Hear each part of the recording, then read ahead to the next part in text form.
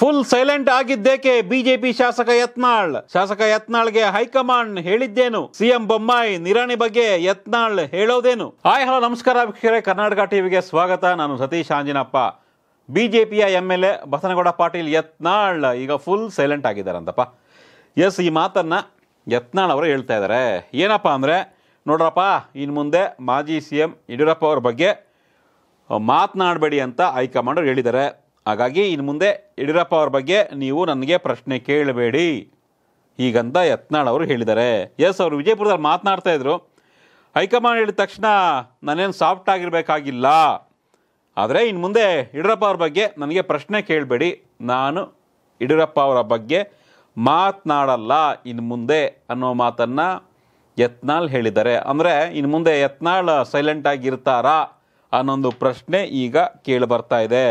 S Murugesh Nirani C M Basavaraj Bommai Yediyurappa ಸೇರಿದಂತೆ ಸಾಕಷ್ಟು B J P ನಾಯಕರ ವಿರುದ್ಧವೇ ತೊಡೆತಟ್ಟಿ ನಿಲ್ಲುವಂಥ ತಾಕತ್ತಿರ್ತಕ್ಕಂಥ ಯತ್ನಾಳ್ ಈಗ ಫುಲ್ ಸೈಲೆಂಟ್ ಅಂತೆ. ಎಸ್ ನಾನು ಬಾಯಿಗೆ ಬಂದಂತೆ ಮಾತಾಡೋದು ನಿಜವನ್ನು ಹೇಳ್ತೀನಿ.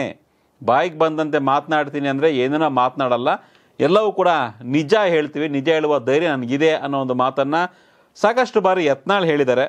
ಆದರೆ ಅದ್ಯಾಕೋ ಈಗ ಧೈರ್ಯ ಕಳೆದುಕೊಂಡಂತೆ ಕಾಣಿಸ್ತಾ ಇದೆ. ಯತ್ನಾಳ್ ಅವರ ಮಾತುಗಳಲ್ಲಿ ಬಾಯಿಗೆ ಬಂದಂತ ಮಾತನಾಡಬೇಡಿ, ನಿಮ್ಮ ಬಾಯಿಗೆ ಸ್ವಲ್ಪ ಗಪ್ಚುಪ್ ಅಂತ ಸುಮ್ಮನೆ ಇರಿ, ಬಾಯಿಗೆ ಬೀಗ ಹಾಕ್ಕೊಂಡು ಅನ್ನೋ ಥರ ಏನೋ ಹೈಕಮಾಂಡ್ ಕೊಟ್ಟಿದೆಯಂತೆ ಸೂಚನೆ. ಹೀಗಾಗಿ ಹೈಕಮಾಂಡ್ ಸೂಚನೆಯ ಹಿನ್ನೆಲೆಯಲ್ಲಿ ಇನ್ನು ಮುಂದೆ ಸೈಲೆಂಟ್ ಆಗಿರೋದಕ್ಕೆ ನಿರ್ಧಾರ ಮಾಡಿದ್ದಾರಂತೆ. ಯಡಿಯೂರಪ್ಪ ಅವ್ರ ಬಗ್ಗೆ ನನಗೆ ಗೌರವ ಇದೆ. ಅವ್ರ ಬಗ್ಗೆ ಇನ್ಮೇಲೆ ಮಾತನಾಡಲ್ಲ. ಯಡಿಯೂರಪ್ಪ ಅವರು ಹಿರಿಯರಿದ್ದಾರೆ. ಬೈಯೋದು ಬೇಡ ಅಂತ ಹೇಳಿದ್ದಾರೆ ಹೈಕಮಾಂಡ್ ಅವರು ಇನ್ನು ಮುಂದೆ ಯಡಿಯೂರಪ್ಪ ಬಗ್ಗೆ ಮಾತನಾಡಬೇಡಿ ಅಂತ ಕೂಡ ಸೂಚನೆ ಕೊಟ್ಟಿದ್ದಾರೆ. ಕೇಂದ್ರದ ನಾಯಕರ ಸೂಚನೆಯಂತೆ ಇನ್ನು ಮುಂದೆ ಯಡಿಯೂರಪ್ಪ ಅವ್ರ ಬಗ್ಗೆ ಮಾತನಾಡಲ್ಲ. ಸಿ ಎಂ ಬೊಮ್ಮಾಯಿ ಬಗ್ಗೆ ಕೂಡ ನಾನು ಮಾತನಾಡಲ್ಲ. ಮಾಜಿ ಸಿ ಎಂ ಯಡಿಯೂರಪ್ಪ ನಮ್ಮ ಆಸ್ತಿಯನ್ನು ಕಸಿದುಕೊಂಡಿಲ್ಲ ಅವರು. ಅವ್ರ ಬಗ್ಗೆ ನನಗೆ ಅಪಾರವಾದ ಗೌರವ ಇದೆ ಅನ್ನೋ ಥರ ಯತ್ನಾಳ್ ಮಾತನಾಡಿದ್ದಾರೆ. ಜೊತೆಗೆ ನನಗೇನು ಬಿ ಜೆ ಪಿ ಕೇಂದ್ರೀಯ ಶಿಶು ಸಮಿತಿ ನೋಟಿಸ್ ಜಾರಿ ಮಾಡಿದ್ದಾರೆ ಅನ್ನೋ ಒಂದು ಮಾತು ಕೇಳಬಾರ್ತಾ ಬರ್ತಾ ಇದೆ. ನನಗೆ ಯಾವುದೇ ರೀತಿಯ ನೋಟಿಸ್ ಕೂಡ ಬಂದಿಲ್ಲ, ಇನ್ನು ಸುಮ್ಮನೆ ವದಂತಿ ಅಷ್ಟೇ ಅದು. ರಾಜ್ಯ ಬಿ ಜೆ ಪಿಯವರು ನನಗೆ ನೋಟಿಸ್ ಕೊಡೋಕ್ಕಾಗಲ್ಲ. ಕೇಂದ್ರದ ಶಿಸ್ತು ಸಮಿತಿಯವರು ನನಗೆ ನೋಟಿಸ್ ಕೊಡಬೇಕು, ಆದರೆ ಯಾವುದೇ ರೀತಿಯ ಒಂದು ನನಗೆ ನೋಟಿಸ್ ಬಂದಿಲ್ಲ. ನೋಟಿಸ್ ಬಂದಿದೆ. ನಾನು ಉತ್ತರ ಕೊಟ್ಬಿಟ್ಟಿದ್ದೀನಿ. ನನಗೆ ಶೋಕಾಸ್ ನೋಟಿಸ್ ಕೊಟ್ಟು ಬೆದರಿಕೆ ಹಾಕಿದ್ದಾರೆ ಹೈಕಮಾಂಡು. ಇವೆಲ್ಲವೂ ಸುಳ್ಳು.